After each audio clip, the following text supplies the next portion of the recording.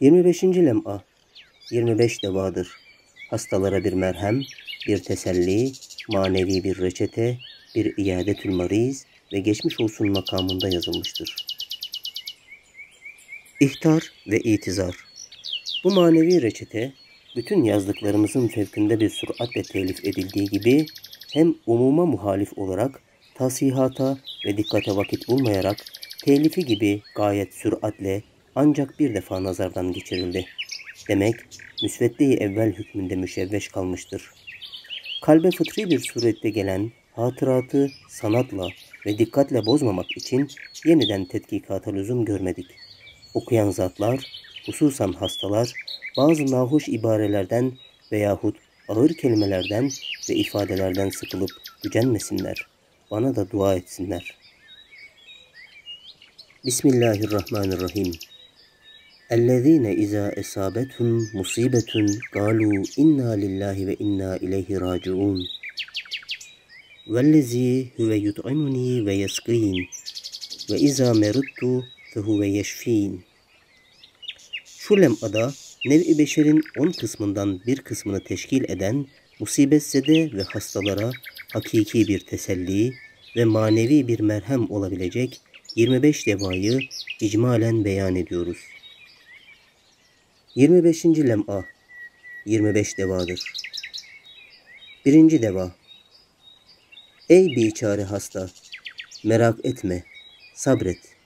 Senin hastalığın sana dert değil, belki bir nevi dermandır. Çünkü ömür bir sermayedir, gidiyor. Meyvesi bulunmazsa zayi olur. Hem rahat ve gafletle olsa pek çabuk gidiyor. Hastalık senin o sermayeni büyük karlarla meyvedar ediyor. Hem ömrün çabuk geçmesine meydan vermiyor. Tutuyor, uzun ediyor. Ta meyveleri verdikten sonra bırakıp gitsin. İşte ömrün hastalıkla uzun olmasına işareten bu darb-ı mesel dillerde destandır ki musibet zamanı çok uzundur, safa zamanı pek kısa oluyor. İkinci deva. Ey sabırsız hasta! Sabret, belki şükret. Senin bu hastalığın nur dakikalarını birer saat ibadet hükmüne getirebilir. Çünkü ibadet iki kısımdır. Biri müsbet ibadettir ki namaz, niyaz gibi malum ibadetlerdir. Diğeri menfi ibadetlerdir ki hastalıklar, musibetler vasıtasıyla musibetse de aczini, zaafını hisseder. Halik Rahim'ine iltica eder, yalvarır halis, riyasız, manevi bir ibadete mazhar olur. Evet, hastalıkla geçen bir ömür, Allah'tan şekva etmemek şartıyla mümin için ibadet sayıldığına rivayat-ı sahiha vardır. Hatta bazı sabir ve şakir hastaların bir dakikalık hastalığı bir saat ibadet hükmüne geçtiği ve bazı kamillerin bir dakikası bir gün ibadet hükmüne geçtiği rivayat-ı sahiha ve keşfiyat-ı sadıka ile sabittir. Senin bir dakika ömrünü bin dakika hükmüne getirip sana uzun ömrü kazandıran hastalıktan teşekki değil, teşekkür et. Üçüncü deva. Ey tahammülsüz hasta! İnsan bu dünyaya keyif sürmek ve lezzet almak için gelmediğine, mütemadiyen gelenlerin gitmesi ve gençlerin ihtiyarlaşması ve mütemadiyen zeval ve firakta yuvarlanması şahittir. Hem insan zihayatın en mükemmeli, en yükseği ve cihazatça en zengini, belki zihayatların sultanı hükmündeyken geçmiş lezzetleri ve gelecek belaları düşünmek vasıtasıyla hayvana nispeten en edna bir derecede ancak kederli, meşakkatli bir hayat geçiriyor. Demek İnsan bu dünyaya yalnız güzel yaşamak için ve rahatla ve sefa ile ömür geçirmek için gelmemiştir. Belki azim bir sermaye elinde bulunan insan burada ticaret ile ebedi, daimi bir hayatın saadetine çalışmak için gelmiştir. Onun eline verilen sermaye de ömürdür. Eğer hastalık olmazsa sıhhat ve afiyet gaflet verir, dünyayı hoş gösterir, ahireti unutturur.'' Kabri ve ölümü hatırına getirmek istemiyor. Sermaye ömrünü bad heva boş yere sarf ettiriyor. Hastalık ise birden gözünü açtırır. Vücuduna ve cesedine der ki, la yamut değilsin, başıboş değilsin, bir vazifen var. Gururu bırak, seni yaratanı düşün, kabre gideceğini bil, öyle hazırlan. İşte hastalık bu noktayı nazardan hiç aldatmaz bir nasih ve ikaz edici bir mürşittir. Ondan şekva değil, belki bu cihette ona teşekkür etmek, eğer fazla ağır gelse sabır istemek gerektir. Dördüncü deva.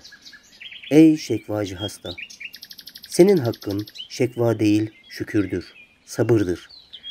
Çünkü senin vücudun ve aza ve cihazatın senin mülkün değildir. Sen onları yapmamışsın. Başka tezgahlardan satın almamışsın. Demek başkasının mülküdür. Onların maliki mülkünde istediği gibi tasarruf eder.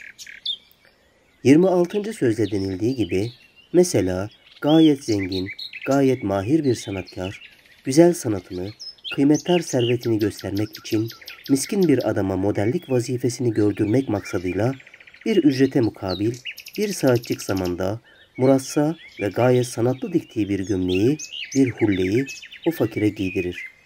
Onun üstünde işler ve vaziyetler verir. Harika envai sanatını göstermek için keser, değiştirir, uzaltır, kısaltır. Acaba şu ücretli miskin adam o zata dese, bana zahmet veriyorsun. Eğilip kalkmakla verdiğin vaziyetten bana sıkıntı veriyorsun. Beni güzelleştiren bu gömleği kesip kısaltmakla güzelliğini bozuyorsun demeye hak kazanabilir mi? Merhametsizlik, insafsızlık ettin diyebilir mi?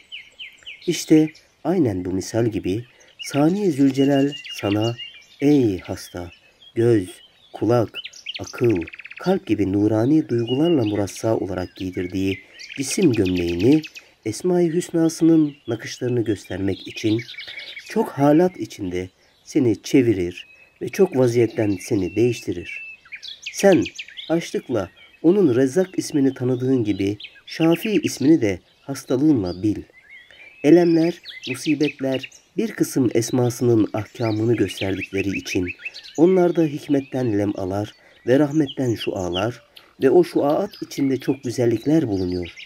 Eğer perde açılsa, tavahhuş ve nefret ettiğin hastalık perdesi arkasında sevimli, güzel manaları bulursun. Beşinci deva Ey maraza müptela hasta!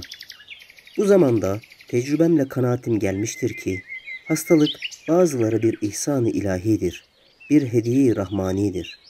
Bu sekiz dokuz senedir liyakatsiz olduğum halde bazı genç zatlar hastalık münasebetiyle dua için benimle görüştüler. Dikkat ettim ki hangi hastalıklı genci gördüm, sair gençlere nispeten ahiretini düşünmeye başlıyor. Gençlik sarhoşluğu yok. Gaflet içindeki hayvani hevesattan bir derece kendini kurtarıyor. Ben de bakıyordum. Onların tahammül dahilindeki hastalıklarını bir ihsan-ı ilahi olduğunu ihtar ederdim. Derdim ki, kardeşim, senin bu hastalığının aleyhinde değilim. Hastalık için sana karşı bir şefkat hissedip acımıyorum ki dua edeyim. Hastalık seni tam uyandırıncaya kadar sabra çalış ve hastalık vazifesini bitirdikten sonra Halik Rahim inşallah sana şifa verir. Hem derdim, senin bir kısım emsalin sıhhat belasıyla gaflete düşüp namazı terk edip kabri düşünmeyip Allah'ı unutup bir saatlik hayatı dünyeviyenin zahiri keyfi ile hadsiz bir hayatı ebediyesini sarsar, zedeler, belki de harap eder. Sen hastalık gözüyle her halde gideceğin bir menzilin olan kabrini ve daha arkasında uhrevi menzilleri görürsün ve onlara göre davranıyorsun. Demek senin için hastalık bir sıhhattir. Bir kısım emsalindeki sıhhat bir hastalıktır. Altıncı deva Ey elemden teşekki eden hasta! Senden soruyorum. Geçmiş ömrünü düşün ve o ömürde geçmiş lezzetli safa günleri ve bela ve elemli vakitlerini tahattür et. Herhalde ya oh ya ah diyeceksin. Yani ya elhamdülillah şükür veyahut va hasreta va esafa kalbin ve lisanın diyecek. Dikkat et. Sana oh elhamdülillah şükür dediren senin başından geçmiş elemler musibetlerin düşünmesi bir manevi lezzeti deşiyor ki senin kalbini şükreder. Çünkü elemin zevali lezzettir. O elemler, o musibetler zevaliyle ruhta bir lezzeti irsiyet bırakmış ki düşünmekle deşilse ruhtan bir lezzet akıyor. Şükürler takattur ediyor. Sana va esefa, va hasreta dedirten, eski zamanda geçirdiğin lezzetli ve safalı o hallerdir ki zevalleriyle senin ruhunda daimi bir elemi irsiyet bırakıp ne vakit düşünsen o elem yine deşiliyor, esef ve hasret akıtıyor. Madem bir günlük gayrimeşru lezzet bazen bir sene manevi elem çektiriyor ve muvakkat bir günlük hastalıkla gelen elem çok günler manevi lezzeti sevapla beraber zevalindeki halas ve kurtulmaktan gelen manevi lezzet vardır. Senin başındaki şimdilik bu muvakkat hastalığın neticesi ve iç yüzündeki sevabı düşün, bu da geçer yahu de, şekva yerinde şükret. Altıncı deva Haşiye, fıtri bir surette bu lema tahattür ettiğinden altıncı mertebede iki deva yazılmış. Fıtriliğine ilişmemek için öylece bıraktık. Belki bir sır vardır diye değiştirmedik. Ey dünya zevkini düşünüp hastalıktan ızdırap çeken kardeşim. Bu dünya eğer daimi olsaydı ve yolumuzda ölüm olmasaydı ve firak ve zevalin rüzgarları esmeseydi ve musibetli, fırtınalı istikbalde manevi kış mevsimleri olmasaydı ben de seninle beraber senin haline acıyacaktım. Fakat madem dünya bir gün bize haydi dışarı diyecek, feryadımızdan kulağını kapayacak, o bizi dışarı kovmadan biz bu hastalıklar ikazatıyla şimdiden onun aşkından vazgeçmeliyiz. O bizi terk etmeden kalben onu terke çalışmalıyız. Evet, hastalık bu manayı bize ihtar edip der ki, senin vücudun taştan, demirden değildir. Belki daima ayrılmaya müsait muhtelif maddelerden terkip edilmiştir. Gururu bırak, aczini anla, malikini tanı, vazifeni bil, dünyaya ne için geldiğini öğren. Kalbin kulağına gizli ihtar ediyor.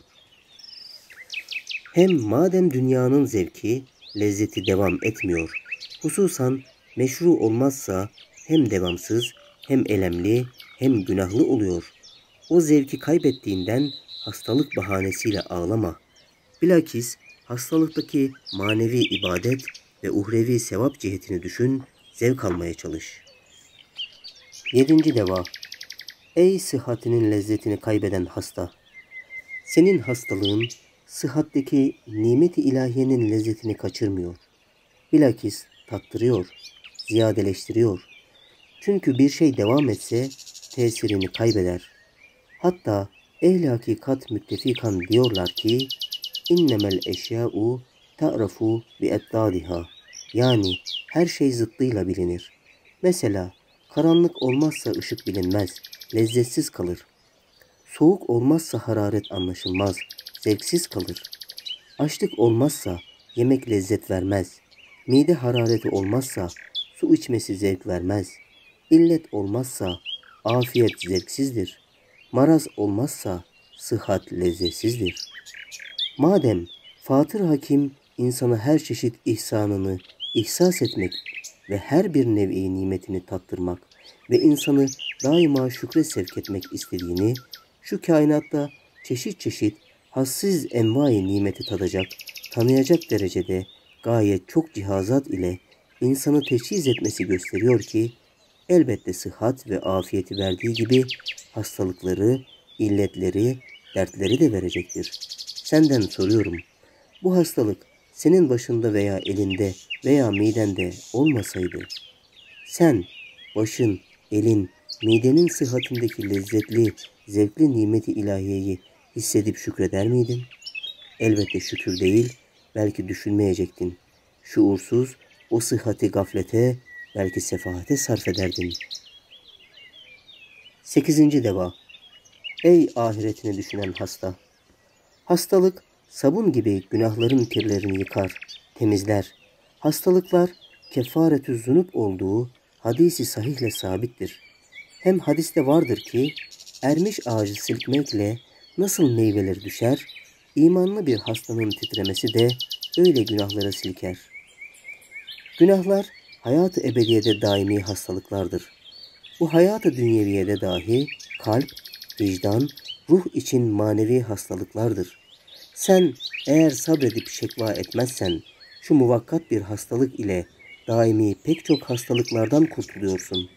Eğer günahları düşünmüyorsan yahut ahireti bilmiyorsan veya Allah'ı tanımıyorsan sende öyle dehşetli bir hastalık var ki milyon defa sendeki bu küçük hastalıktan daha büyüktür.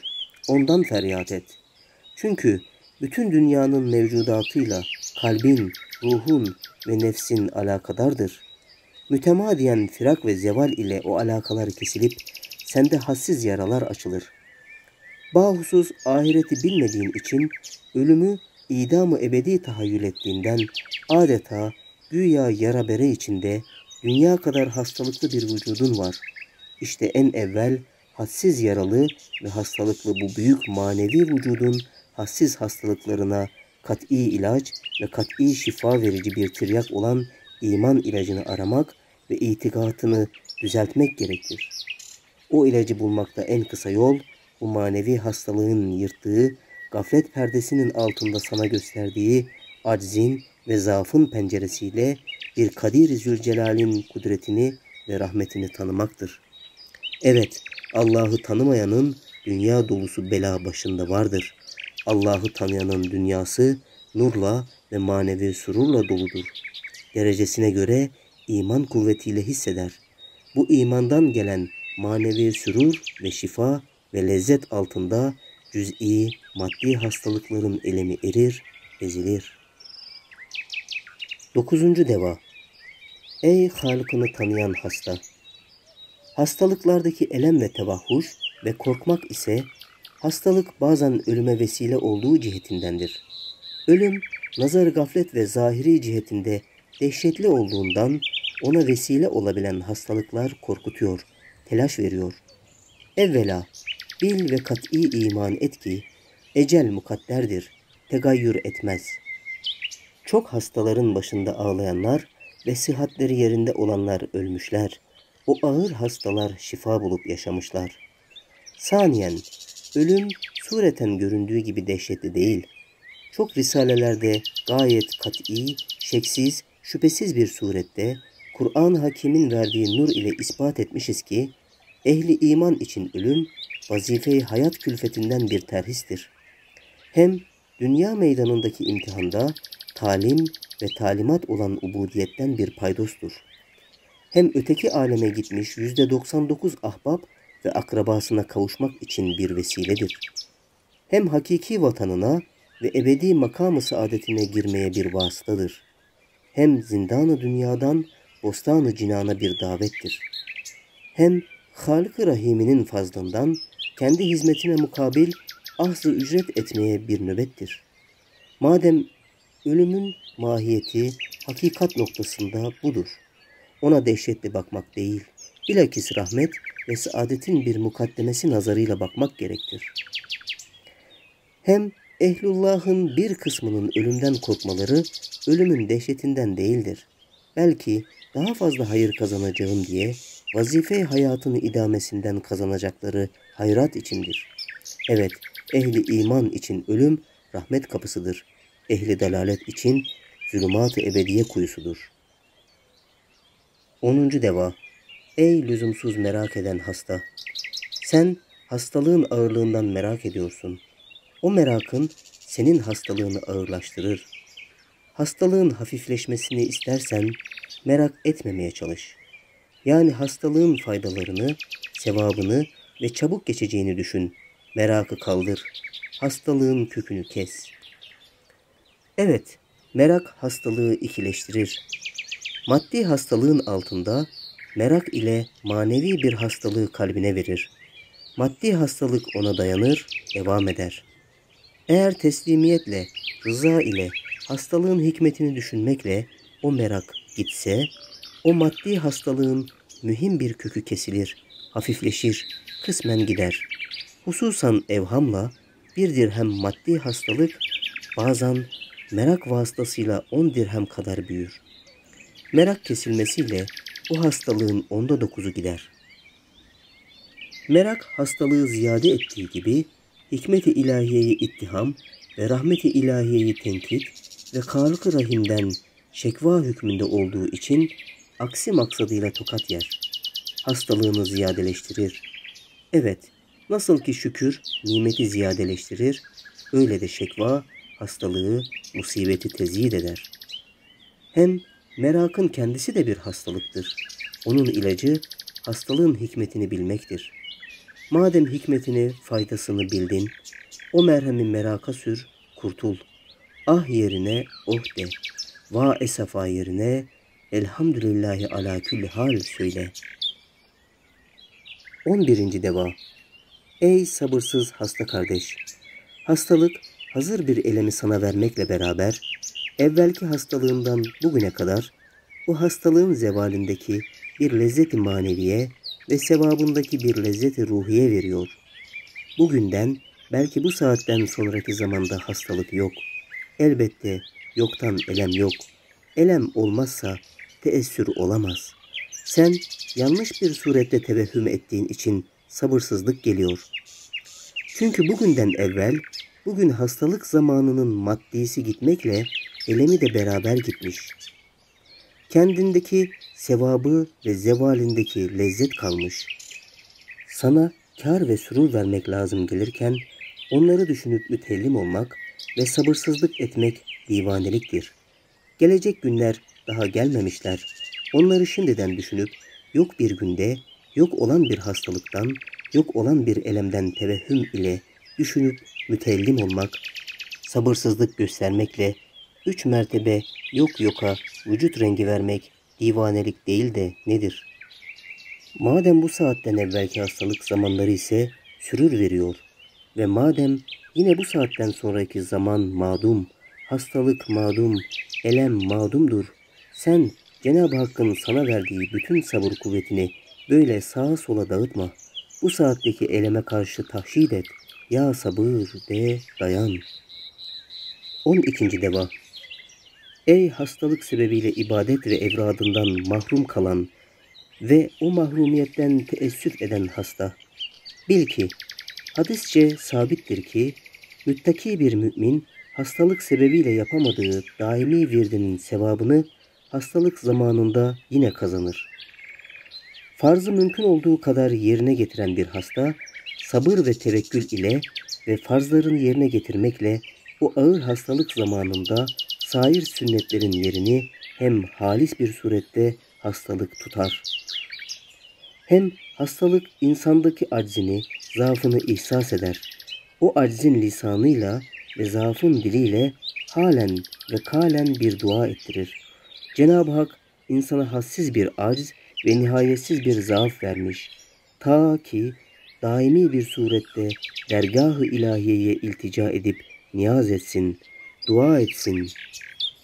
Kul ma ya'beu bikum Rabbi levla duaukum. Yani eğer duanız olmazsa ne ehemmiyetiniz var?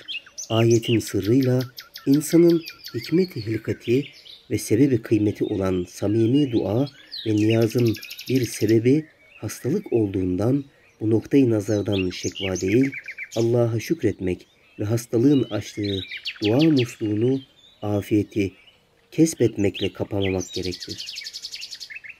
13. Deva Ey hastalıktan şekva eden biçare adam! Hastalık bazılara ehemmiyetli bir definedir. Gayet kıymetli bir hediye-i ilahiyedir. Her hasta kendi hastalığını o neviden tasavvur edebilir. Madem ecel vakti muayyen değil, Cenab-ı Hak insanı ye'si mutlak ve gafleti mutlaktan kurtarmak için havf ve reca ortasında ve hem dünya ve hem ahireti muhafaza etmek noktasında tutmak için hikmetiyle eceli gizlemiş. Madem her vakit ecel gelebilir, eğer insanı gaflet içinde yakalasa, ebedi hayatına çok zarar verebilir. Hastalık gafleti dağıtır, ahireti düşündürür, ölümü tahattür ettirir, öylece hazırlanır. Bazı Öyle bir kazancı olur ki 20 senede kazanamadığı bir mertebeyi 20 günde kazanıyor. Ez cümle arkadaşlarımızdan Allah rahmet etsin iki genç vardı. Biri İlamoğlu Sabri, diğeri İslam köylü Vezirzade Mustafa. Bu iki zat talebelerim içinde kalemsiz oldukları halde samimiyette ve iman hizmetinde en ileri safta olduklarını hayretle görüyordum. Hikmetini bilmedim. Vefatlarından sonra anladım ki her ikisinde de ehemmiyetli bir hastalık vardı. O hastalık irşadıyla sair gafil ve feraizi terk eden gençlere bedel en mühim bir takva ve en kıymetli bir hizmette ve ahirete nafi bir vaziyette bulundular. İnşallah iki senelik hastalık zahmeti milyonlar sene hayatı ebediyenin saadetine medar oldu. Ben onların sıhhati için bazen ettiğim duayı şimdi anlıyorum. Dünya itibariyle beddua olmuş. İnşallah o duam sıhhati uhreviye için kabul olunmuştur. İşte bu iki zat benim itikadımca 10 senelik bir takva ile elde edilebilecek bir kazanç kadar bir kar buldular. Eğer ikisi bir kısım gençler gibi sıhhat ve gençliğine güvenip gaflet ve sefaate atılsaydılar, ölüm de onları tarassut edip gam günahlarının pislikleri içinde yakalasaydı, o nurlar definesi yerine kabirlerini akrepler ve yılanlar yuvası yapacaklardı. Madem hastalıkların böyle menfaati var, ondan şekva değil, tevekkül, sabır ile belki şükredip rahmeti ilahiyeye itimat etmektir. 14. Deva Ey gözüne perde gelen hasta!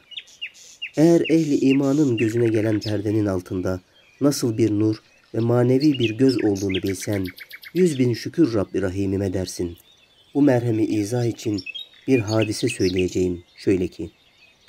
Bana sekiz sene kemali sadakatle, hiç gücendirmeden hizmet eden Barlalı Süleyman'ın halasının bir vakit gözü kapandı. O saliha kadın bana karşı haddimden yüz derece fazla hüsnü zan ederek gözümün açılması için dua et diyerek cami kapısında beni yakaladı. Ben de o mübarek ve meczube kadının salahatını duama şefaatçi yapıp Ya Rabbi onun salahati hürmetine onun gözünü aç diye yalvardım. İkinci gün Burdurlu bir göz hekimi geldi. Gözünü açtı. Kırk gün sonra yine gözü kapandı. Ben çok müteessir oldum. Çok dua ettim. İnşallah o dua ahireti için kabul olmuştur. Yoksa benim o duam onun hakkında gayet yanlış bir beddua olurdu. Çünkü eceli 40 gün kalmıştı. 40 gün sonra Allah rahmet etsin vefat eyledi. İşte o merhume 40 gün Barla'nın hazinane bağlarına dikkatli ihtiyarlık gözüyle bakmasına bedel kabrinde cennet bağlarını 40 bin günlerde seyredeceğini kazandı. Çünkü imanı kuvvetli, selahati şiddetliydi. Evet, bir mümin gözüne perde çekilse ve gözü kapalı kabre girse, derecesine göre ehli kuburdan çok ziyade o alem nuru temaşa edebilir. Bu dünyada nasıl çok şeyleri biz görüyoruz, kör olan müminler görmüyorlar. Kabirde o körler iman ile gitmişse o derece ehli kuburdan ziyade görür en uzağı gösteren dürbünlerle bakar nevinde, kabrinde derecesine göre cennet bağlarını sinema gibi görüp temaşa ederler. İşte böyle gayet nurlu ve toprak altında iken göklerin üstündeki cenneti görecek ve seyredecek bir gözü bu gözündeki perde altında şükür ile sabır ile bulabilirsin. İşte o perdeyi senin gözünden kaldıracak, o gözle seni baktıracak göz hekimi Kur'an-ı Hakim'dir.'' 15. Deva Ey ahu enineden hasta! Hastalığın suretine bakıp ah eyleme, manasına bak, oh de. Eğer hastalığın manası güzel bir şey olmasaydı, Halık-ı Rahim en sevdiği ibadına hastalıkları vermezdi. Halbuki hadisi sahihte vardır ki, Eşeddün nasu belaen, el enbiyâ sümmel evliya, el emsalü fel emsal.'' El kemagal yani en ziyade musibet ve meşakkate giriftar olanlar insanların en iyisi, en kamilleridirler. Başta Hz. Eyüp aleyhisselam, enbiyalar, sonra evliyalar ve sonra ehli salahat çektikleri hastalıklara birer ibadet-i halise, birer hediye-i rahmaniye nazarıyla bakmışlar. Sabır içinde şükretmişler. Halık-ı Rahim'in rahmetinden gelen bir ameliyat-ı cerrahiye nevinden görmüşler. Sen ey ahu fizar eden hasta, bu nurani kafileye iltihak etmek istersen sabır içinde şükret. Yoksa şekva etsen onlar seni kafilelerine almayacaklar. Ehli gafletin çukurlarına düşersin. Karanlıklı bir yolda gideceksin.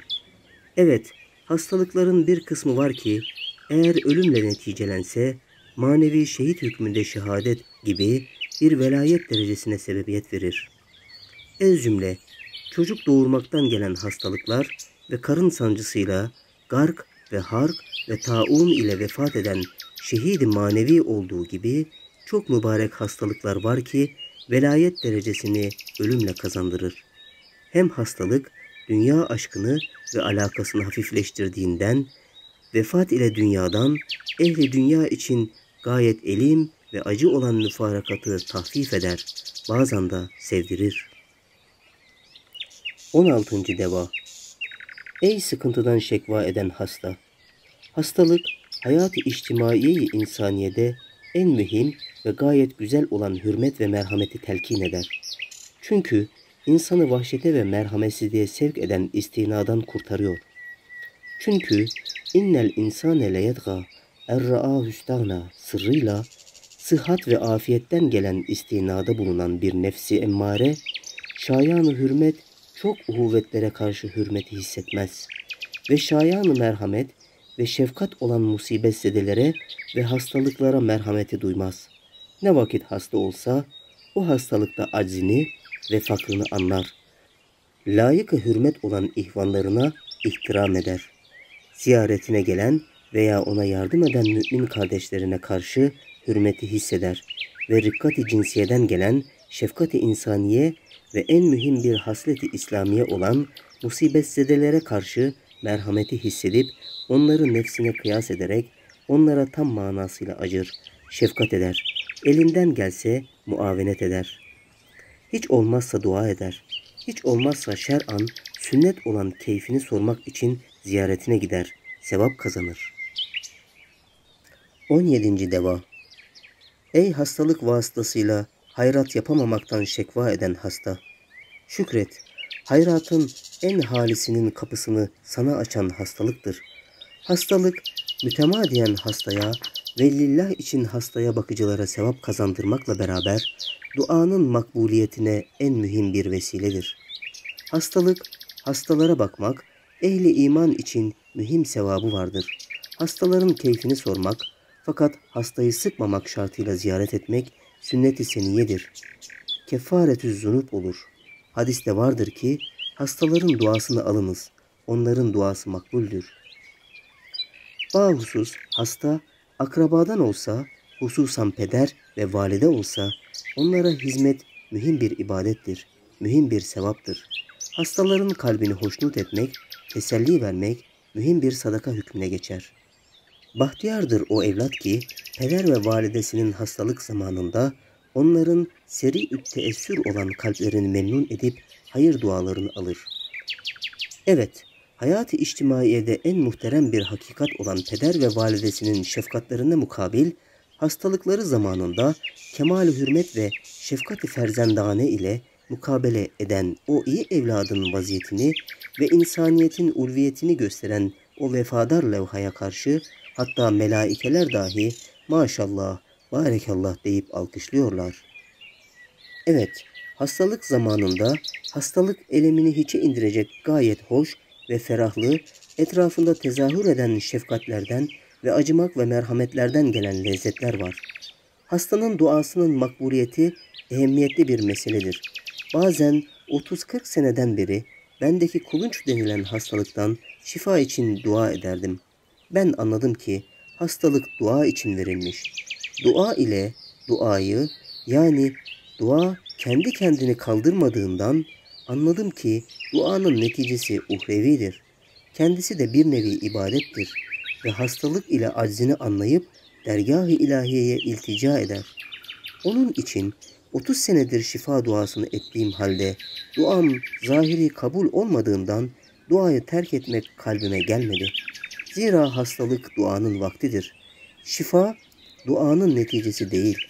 Belki Cenab-ı Hakim-i Rahim şifa verse fazlından verir. Hem dua istediğimiz tarzda kabul olmazsa makbul olmadı denilmez. Halika Hakim daha iyi biliyor. Menfaatimize hayırlı ne ise onu verir. Bazen dünyaya ait dualarımızı menfaatimiz için ahiretimize çevirir, öyle kabul eder. Her neyse, hastalık sırrıyla hulusiyet kazanan, hususan zaaf ve aczden ve tezellül ve ihtiyaçtan gelen bir dua kabule çok yakındır. Hastalık böyle halis bir duanın medarıdır.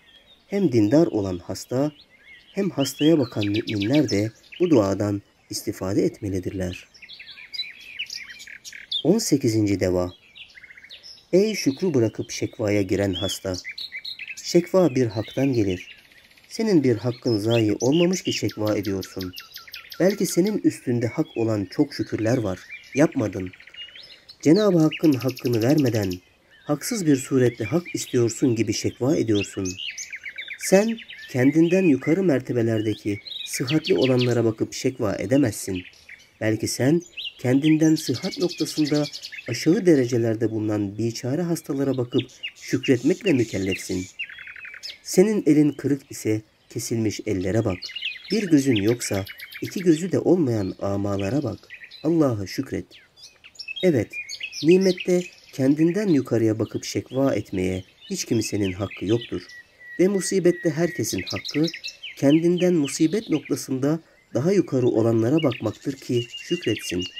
Bu sır bazı risalelerde bir temsil ile izah edilmiş, icmali şudur ki, bir zat bir biçareyi bir minarenin başına çıkarıyor.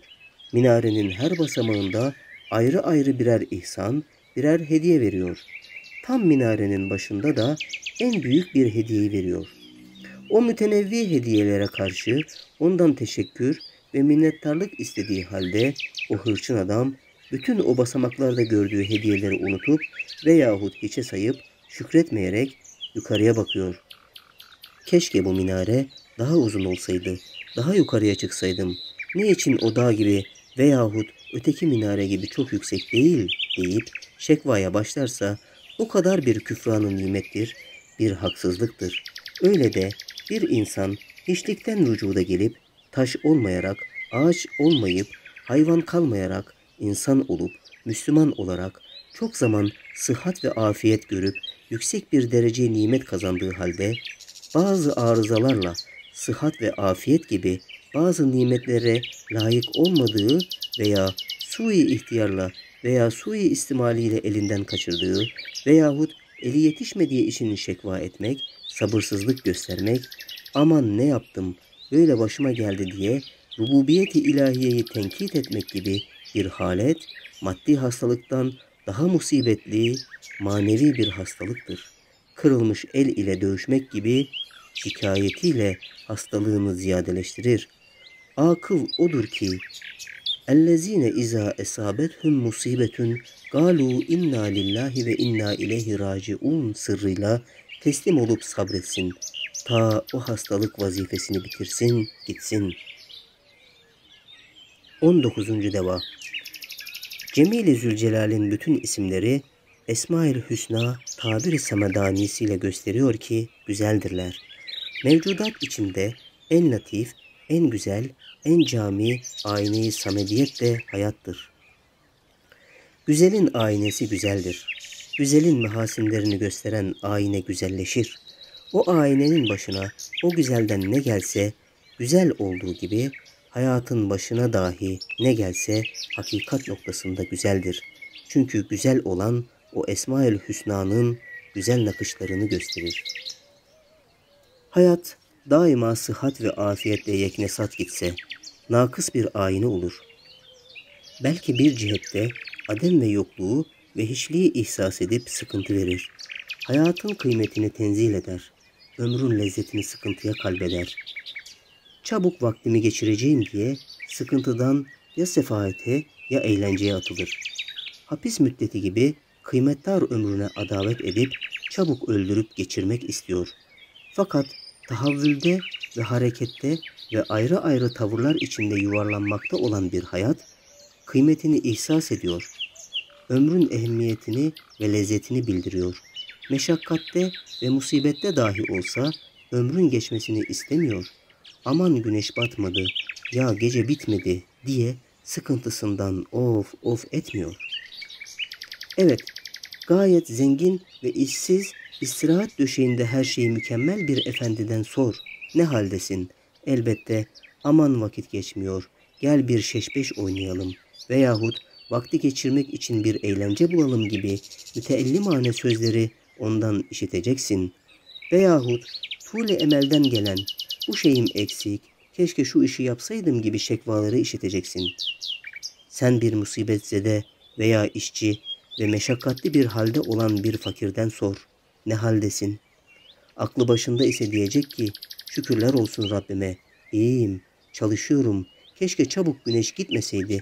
Bu işi de bitirebilseydim. Vakit çabuk geçiyor. Ömür durmuyor. Gidiyor. Vaka, zahmet çekiyorum. Fakat bu da geçer. Her şey böyle çabuk geçiyor diye manen ömür ne kadar kıymetli olduğunu geçmesindeki teessüfle bildiriyor. Demek meşakkat ve çalışmakla ömrün lezzetini ve hayatın kıymetini anlıyor. İstirahat ve sıhhat ise ömrü acılaştırıyor ki geçmesini arzu ediyor. Ey hasta kardeş, bil ki başka risalelerde tafsilatıyla kati bir surette ispat edildiği gibi musibetlerin, şerlerin hatta günahların aslı ve mayası Adem'dir. Adem ise şerdir, karanlıktır. Yeknesak istirahat, sukut, sukunet, tavakkuf gibi haletler Adem'e, hiçliğe yakınlığı içindir ki Adem'deki karanlığı ihsas edip sıkıntı veriyor. Hareket ve tahavvül ise vücuttur. Vücudu ihsas eder. Vücut ise halis hayırdır, nurdur. Madem hakikat budur, sendeki hastalık kıymetler hayatı safileştirmek, kuvvetleştirmek, terakki ettirmek ve vücudundaki sair cihazatı insaniyeyi o hastalıklı uzvun etrafına muavenet darane müteveccih etmek ve Sani Hakim'in ayrı ayrı isimlerinin nakışlarını göstermek gibi çok vazifeler için bu hastalık senin vücuduna misafir olarak gönderilmiştir. İnşallah çabuk vazifesini bitirir, gider ve afiyete der ki, sen gel, benim yerimde daimi kal, vazifeni gör, bu hane senindir, afiyetle kal. 20. Deva Ey derdine derman arayan hasta! Hastalık iki kısımdır. Bir kısmı hakiki, bir kısmı vehmidir.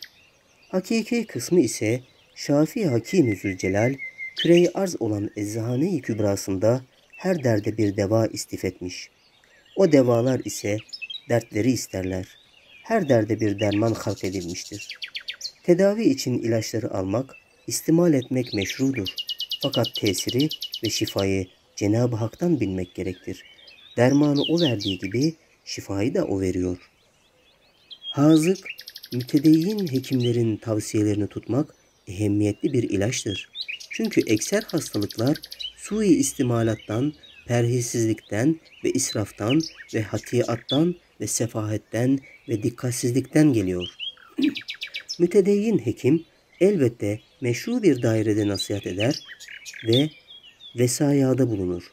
Sui istimalattan, israfattan men eder, teselli verir. Hasta o vesaya ve o teselliye itimat edip hastalığı hafifleşir sıkıntı yerinden bir ferahlık verir. Ama vehmi hastalık kısmı ise onun en müessir ilacı ehemmiyet vermemektir. Ehemmiyet verdikçe o büyür, şişer. Ehemmiyet vermezse küçülür, dağılır. Nasıl ki arılara iliştikçe insanın başına üşüşürler, aldırmazsan dağılır. Hem karanlıkta gözüne sallanan bir ipten gelen bir hayale ehemmiyet verdikçe büyür, hatta bazen onu divane gibi kaçırır. Ehemmiyet vermezse adi bir ipin yılan olmadığını görür, başındaki telaşına güler. Bu vehmi hastalık çok devam etse hakikate inkılap eder. Vehham ve asabi insanlarda fena bir hastalıktır. Habbeyi kubbe yapar, kuvve-i maneviyesi kırılır. Hususan merhametsizlik yarım hekimlere veyahut insafsız doktorlara rast gelse evhamını daha ziyade tahrik eder. Zengin ise malı gider, yoksa ya aklı gider veya sıhhati gider. 21. Deva Ey hasta kardeş! Senin hastalığında maddi elem var. Fakat o maddi elemin tesirini izale edecek ehemmiyetli bir manevi lezzet seni ihata ediyor. Çünkü peder ve validen ve akraban varsa çoktan beri unuttuğun gayet lezzetli o şefkatleri senin etrafında yeniden uyanıp çocukluk zamanında gördüğün o şirin nazarları yine görmekle beraber çok gizli, perdeli kalan etrafındaki dostluklar hastalığın cazibesiyle yine sana karşı muhabbet darağına baktıklarından elbette onlara karşı senin bu maddi elemin pek ucuz düşer. Hem sen müftehirane hizmet ettiğin ve iltifatlarını kazanmaya çalıştığın zatlar hastalığın hükmüyle sana merhamet kârane hizmetkarlık ettiklerinden efendilerine efendi oldun. Hem insanlardaki rikkat-i cinsiyeyi ve şefkat-i nev'iyeyi kendine celbettiğinden hiçten çok yardımcı ahbap ve şefkatli dost buldun. Hem çok meşakkatli hizmetlerden paydos emrini yine hastalıktan aldın. İstirahat ediyorsun. Elbette senin cüz'i elemin bu manevi lezzetlere karşı seni şekvaya değil teşekküre sevk etmelidir. 22. Deva Ey nuzul gibi ağır hastalıklara müptela olan kardeş! Evvela sana müjde ediyorum ki mümin için nuzul mübarek sayılıyor. Bunu çoktan ehli velayetten işitiyordum. Sırrını bilmezdim. Bir sırrı şöyle kalbime geliyor ki Ehlullah Cenab-ı Hakk'a vasıl olmak ve dünyanın azim manevi tehlikelerinden kurtulmak ve saadet-i ebediyeyi temin etmek için iki esası ihtiyaren takip etmişler. Birisi rabıtayı mevttir. Yani dünya fani olduğu gibi kendisi de içinde vazifedar fani bir misafir olduğunu düşünmekle hayatı ebediyesine o suretle çalışmışlar. İkincisi, nefsi emmarenin ve kör hissiyatının tehlikelerinden kurtulmak için çilelerle, riyazetlerle nefsi emmarenin öldürülmesine çalışmışlar. Sizler, ey yarı vücudunun sıhhatini kaybeden kardeş, sen ihtiyarsız, kısa ve kolay ve sebebi saadet olan iki esas sana verilmiş ki, daima senin vücudunun vaziyeti, dünyanın zevalini ve insanın fani olduğunu ihtar ediyor. Daha dünya seni boğamıyor, gaflet senin gözünü kapayamıyor ve yarım insan vaziyetinde bir zata, nefsi emmare elbette hevesat-ı rezile ile ve nefsani müştehiyat ile onu aldatamaz. Çabuk o nefsin belasından kurtulur. İşte mümin sırrı iman ile ve teslimiyet ve tevekkül ile o ağır nuzul gibi hastalıktan az bir zamanda ehli velayetin çileleri gibi istifade edebilir. O vakit o ağır hastalık çok ucuz düşer. 23. Deva Ey kimsesiz, garip, biçare hasta! Hastalığınla beraber kimsesizlik ve gurbet sana karşı en katı kalpleri dikkate getirirse ve nazarı şefkati celpederse, acaba Kur'an'ın bütün surelerinin başlarında kendini Rahmanur Rahim sıfatıyla bize takdim eden ve bir lem'ay şefkatiyle umum yavrulara karşı umum valideleri ve harika şefkatiyle terbiye ettiren ve her baharda bir cilve rahmetiyle zemin yüzünü nimetlerle dolduran ve ebedi bir hayattaki cennet, bütün mehasiniyle bir cilve rahmeti olan senin Halık Rahimine iman ile intisabın ve onu tanıyıp hastalığın lisan-ı acziyle niyazın elbette senin bu gurbetteki kimsesizlik hastalığın her şeye bedel onun nazır rahmetini sana celpeder. Madem o var, sana bakar, sana her şey var. Asıl gurbette kimsesizlikte kalan odur ki iman ve teslimiyetle ona intisap etmesin veya intisabına ehemmiyet vermesin. 24. Deva Ey masum hasta çocuklara ve masum çocuklar hükmünde olan ihtiyarlara hizmet eden hasta bakıcılar! Sizin önünüzde mühim bir ticaret uhreviye var. Şevk ve gayret ile o ticareti kazanınız. Masum çocukların hastalıklarını o nazik vücutlara bir idman, bir riyazet ve ileride dünyanın dağ dağlarına mukavemet verdirmek için bir şırınga ve bir terbiye-i rahmaniye gibi çocuğun hayatı dünyeviyesine ait çok hikmetlerle beraber ve hayatı ruhiyesine ve tasaffi hayatına medar olacak büyüklerdeki kefaret-ü zunub yerine manevi ve ileride veyahut ahirette terakkiat maneviyesine medar şırıngalar nev'indeki hastalıklardan gelen sevap, peder ve validelerinin defteri amaline bilhassa sırrı şefkatle çocuğun sıhhatini kendi sıhhatine tercih eden validesinin sahifi hasenatına girdiği ehli hakikatçe sabittir. İhtiyarlara bakmak ise hem azim sevap almakla beraber o ihtiyarların ve bilhassa peder ve valide ise dualarını almak ve kalplerini hoşnut etmek ve vefakârane hizmet etmek hem bu dünyadaki saadete hem ahiretin saadetine medar olduğu rivayat-ı sahiha ile ve çok vukuat-ı tarihiye ile sabittir. İhtiyar peder ve validesine tam itaat eden bahtiyar bir velet, evladından aynı vaziyeti gördüğü gibi bedbaht bir velet eğer ebeveynini rencide etse, azab-ı uhreviden başka dünyada çok felaketlerle cezasını gördüğü çok vukuatla sabittir. Evet, ihtiyarlara sabittir. Evet, yalnız akrabasına bakmak değil, belki ehli iman, madem sırrı imanla uhuvveti hakikiye var, onlara rast gelse, muhterem hasta ihtiyar ona muhtaç olsa, ruhu canla ona hizmet etmek İslamiyet'in muktezasıdır. 25. Deva Ey hasta kardeşler! Siz gayet nafi ve her derde deva ve hakiki lezzetli, kutsi bir tiryak isterseniz imanınızı inkişaf ettiriniz. Yani tevbe ve istiğfar ile ve namaz ve ubudiyetle o tiryak-ı kutsi olan imanı ve imandan gelen ilacı istimal ediniz. Evet, dünyaya muhabbet ve alaka yüzünden güya adeta ehli gafletin dünya gibi büyük, hasta, manevi bir vücudu vardır. İman ise o dünya gibi zeval ve firak darbelerine, yara ve bere içinde olan o manevi vücuduna birden şifa verip, yaralardan kurtarıp, hakiki şifa verdiğini pek çok risalelerde kati ispat etmişiz. Başınızı ağrıtmamak için kısa kesiyorum. İman ilacı ise feraizi mümkün oldukça yerine getirmekle tesirini gösteriyor.